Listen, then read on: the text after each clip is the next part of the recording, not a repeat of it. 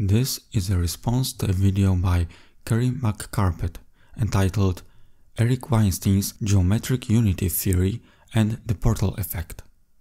This is a weird type of response. Kerry focused, as the title betrays, on Eric Weinstein's sci-fi theory about a technology that will allow people to hack the source code of reality. I may check it out as I like sci-fi just as the next guy. But I'm not really interested in this. Kerry puts nature in a very positive light, and she depicts the invention and use of technology as a kind of an original sin. Technology, as Kerry argues, distracts our minds, disconnects us from friends and families, and blurs our perception, blinding us to the reality of the world. These are the ideas I want to put to the test. Be sure to check out the links before. You'll find talks and discussions about anarcho-primitivism, saving the planet, a channel devoted to anti-technologism, and of course, Kerry's original video. You really should watch Kerry's video before proceeding further. Now, before going further, I have to make some clarifications. For years and years I've been enjoying Kerry's YouTube videos. In the present video I'm going to say things that may be interpreted as ugly. But this is an intentional, conscious choice. I want to speak to intellect, but also I want to speak to imagination. It is a literary device, if you will. Nothing else. It is by no means an attack on Kerry. Okay, let's get to it. The first point Kerry is making is that tool use and language are things that alienate us from reality, things that are more than parasites than natural advantages. Bees make nests, termites make nests and mounds, beavers make dams, birds make their nests, and Homo sapiens make tools. All of these species, including humans, are fit to make and use their creations. Humans have mental and physical structures to use, understand, and make tools. That's the kind of animal we are. We can stand upright to have tools in our hands. We operate these tools with astonishing precision with our hands. We have brains that see the use of objects in the world just as transparently as we see that something is food. We see a sharp stone as something to cut with, that is, a type of a tool or a thing to use, just as clearly as we see an apple as something to eat. It is as natural an instinct as being afraid of spiders. Similarly with language, we evolved structures both in the brain but also in other parts of the body, for example the vocal cords, that allow us to use language. Homo sapiens loses nothing when it is using parts of the brain devoted to language or tools. The organization both structural and functional, of their brain evolved in such a way as to allow the species to use these two functions. So we certainly don't grow dumber as time in an evolutionary scale progresses. The only reason why other animals have a harder time destroying more life is simply because their tools are smaller. But when beavers build a dam, millions of animals die in the vicinity. It is not because these animals have evolved some regulatory instincts. Homo sapiens has always been creating tools. What is a bee that doesn't create nests? What is a beaver that doesn't build dams? And finally, what is a human that doesn't create and use tools?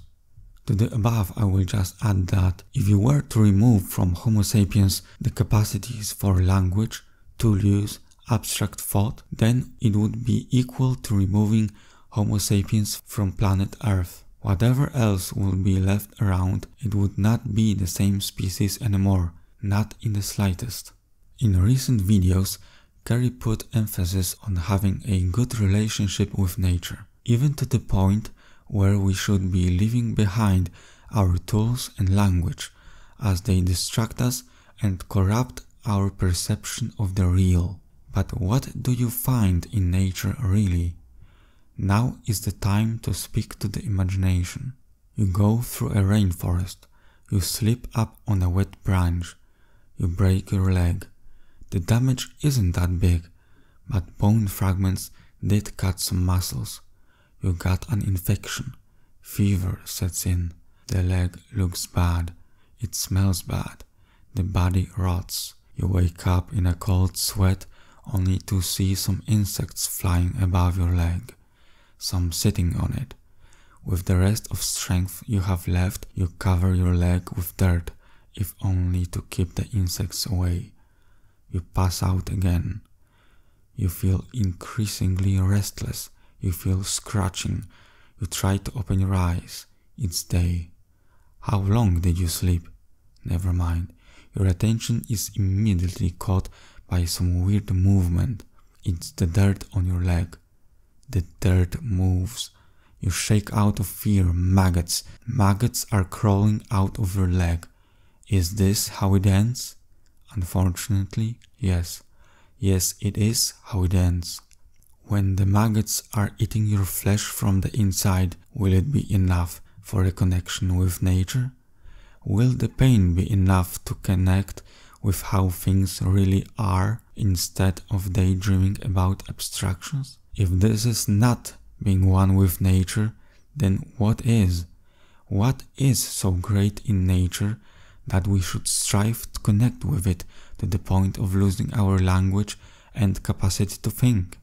Nature is not just forests, waters, pretty animals, and flowers. Nature is brutal. It is a struggle for life, but a struggle that is paid with suffering, pain, fear, disease, death. Millions upon millions of sentient creatures have no way out of this arena. They just come into existence, they have to struggle, suffer, and die. That is the other side of the reality of nature. Do not ignore it. The point I'm trying to make here is that Kerry and most people we hear from state decisively that nature is something good, it has intrinsic value, it has to be protected. It is a radically positive outlook on nature. Unfortunately, it is almost always presented without any supporting argument.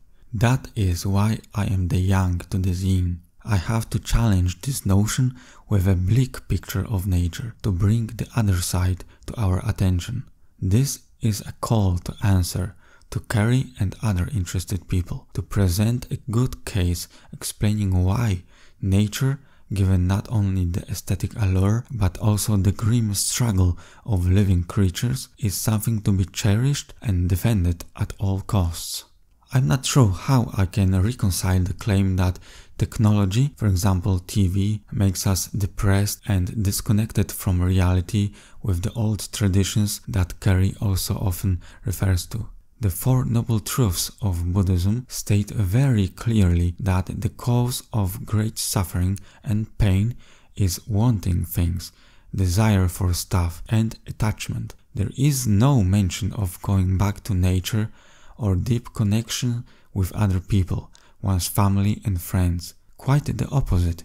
Your desperate craving to be one with nature and your attachment to your relationships with people is what makes you suffer. You will never attain your communion with nature. Your relationships with friends will end due to impermanence of all things. All this will bring you and me and us pain. The religious traditions that are closer to us both historically and geographically are the Abrahamic religions, Judaism, Christianity and Islam. I'll make an example out of Christianity as we're most familiar with it. Throughout both Old and New Testaments, you see again and again a distinction between the natural world and the heavens. No technology, no distraction can get you as far away from nature as the supernatural. Three days after the crucifixion, Jesus rises from the dead, essentially committing the deepest blasphemy against the natural order that there could ever be.